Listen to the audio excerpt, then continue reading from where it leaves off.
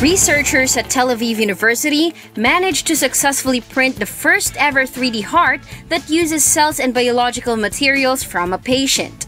The medical breakthrough, which was published on Monday in Advanced Science, managed to produce an entire heart complete with cells, blood vessels, ventricles, and chambers, a marked improvement over previous attempts that only printed simple tissues without vessels.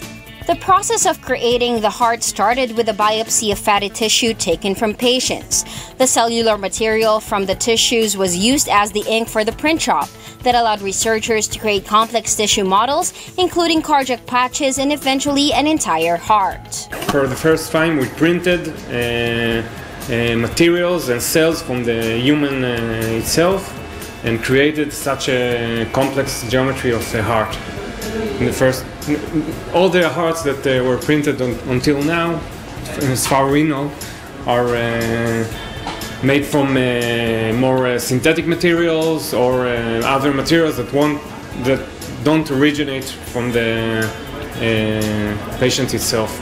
At this stage, scientists printed pink and blue 3D rabbit size hearts, but Professor Tal Dvir of Tel Aviv University, who led the research for the study, said that larger human hearts require the same technology. Currently, the hearts can only contract, but researchers plan on culturing the 3D printed hearts and teaching them how to operate like the real deal. Once that process is complete, they will attempt to transplant them into animal models.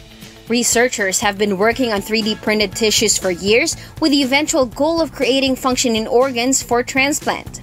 The scientists involved in the heart project at Tel Aviv University theorized that within 10 years, organ printers could be available at hospitals.